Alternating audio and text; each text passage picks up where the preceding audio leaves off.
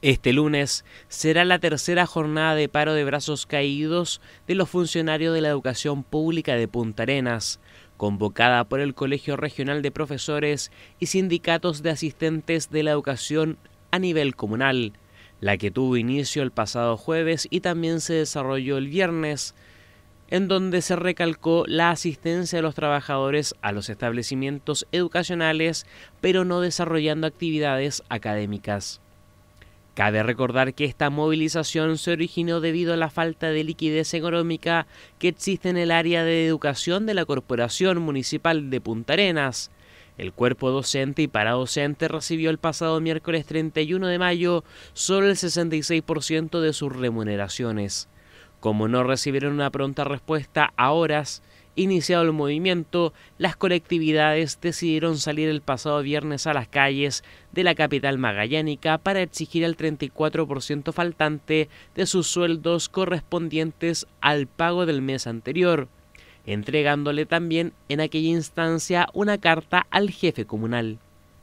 Considerando este conflicto el pasado sábado, dirigentes de la multigremial de educación sostuvieron una reunión con el alcalde Claudio Radonich, tras la instancia, dicha movilización continuará entre hoy lunes 5 y mañana martes 6 de junio. Así lo señaló la presidenta regional del Colegio de Profesoras y Profesores, Violeta Andrade. La verdad es que eh, fue una reunión bastante larga donde se trataron muchos temas, pero el principal es cómo va a pagar este mes los sueldos y lo que falta y un plan de trabajo de aquí a fin de año para que no vuelva a suceder lo mismo que sucedió en enero ahora eh, esperamos que la otra semana se cree una mesa de trabajo donde además se pidió que esté Ceremía, eh, el Ceremi del Trabajo, el Ceremi de Gobierno, para que esta mesa pueda llegar a, buen término. El alcalde se comprometió a que no va a haber ningún descuento. Nosotros la otra semana seguimos movilizados hasta que tengamos el 100% de nuestros sueldos y quedó en acta de que no va a haber ningún descuento ni ningún una persecución sobre aquellos que nos estamos movilizando, para tranquilidad de todos los trabajadores en realidad. Bien, y la movilización continúa. Continúa la otra semana, hasta ahora lunes y martes de brazos caídos, miércoles tenemos una velatón, pero seguramente vamos a continuar de brazos caídos toda la otra semana hasta el 100% de nuestros sueldos. A su vez, Alicia Ligante, presidenta comunal del Magisterio, acotó los acuerdos sostenidos entre los gremios y la autoridad comunal.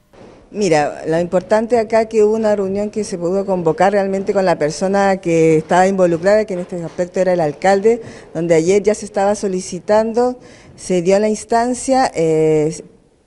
bueno, fueron conversaciones, cada, cada gremio, cada sindicato manifestó eh, sus quejas, su descontento con los procedimientos que, que están pasando. Hubieron compromisos de parte del alcalde, esperamos ahora que se cumplan. Obviamente el sueldo no está todavía, hasta posiblemente jueves y viernes. Así que esperemos que, eso se lleve a cabo. Nosotros vamos a seguir movilizados, también se lo manifestamos, que independiente de esta reunión, las movilizaciones siguen. Mediante un comunicado, la multigremial de trabajadores de la educación de Punta Arenas señaló lo siguiente. Se espera un compromiso formal y con recursos asociados para no volver a sufrir el pago de remuneraciones parciales y que ésta tenga el compromiso de cancelación de pagos íntegros y no solo líquidos.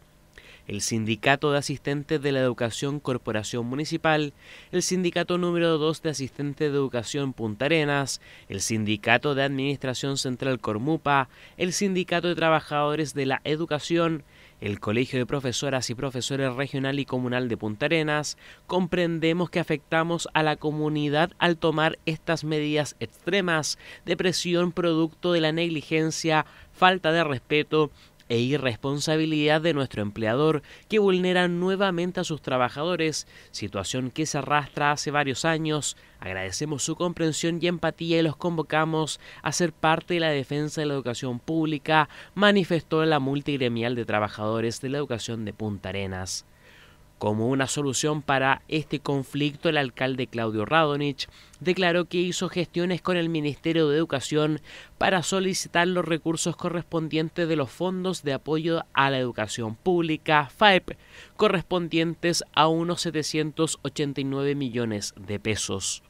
Esta estaba pendiente, iba a ser anoche, pero, pero los dirigentes estaban con sus asambleas, les quiero dar gracias, a primera están, están todas sus directivas y tuvimos que hacerla hoy para poder explicar y para poder contar la última información que tuvimos desde Santiago finalmente con el, con el pago que hacer como los fondos FAEB que se va a hacer el día jueves y viernes y la municipalidad ya hemos presentado una, una nueva eh, solicitud de aportes al Consejo Municipal, de tal forma que el día martes se pueda votar, el día miércoles ya se puede hacer esta vuelta de garantía para contar con los recursos FAE para pagar los sueldos el jueves y el, viernes. Y por cierto, nuevamente reiterar la empatía respecto y entender la molestia, la rabia, la frustración de los profesores y los asistentes finalmente por, el, por, el, por, este, por esta falta de pago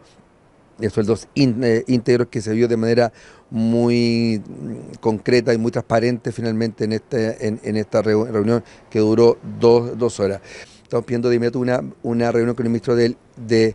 educación urgente finalmente para poder adelantar los fondos de transición 2023 que tienen que complementar finalmente este diferencial que tenemos todos los meses en el entendido que nuestro déficit siga aumentando porque tenemos una disminución importante de las asistencias y también por el, PIE, finalmente con, los fondos, tal como he dicho, que no los paga el Estado por estos requerimientos distintos que tienen muchos de nuestros alumnos y que, por cierto, van a ser siempre bienvenidos a los colegios municipales. Pero también vamos a generar una mesa para que a nivel regional podamos también alguna respuesta con, con educación, con la delegación y también vamos a invitar al, gobernador, regional de tal forma si dentro del esquema podemos tener una, una solución local que complemente finalmente la, nacional y lo esfuerzos también de la municipalidad. Eh, estos paros de, de brazos caídos, que son legítimos, ojo, no lo estoy, que quiero, quiero ser súper claro con eso, pero también afecta el,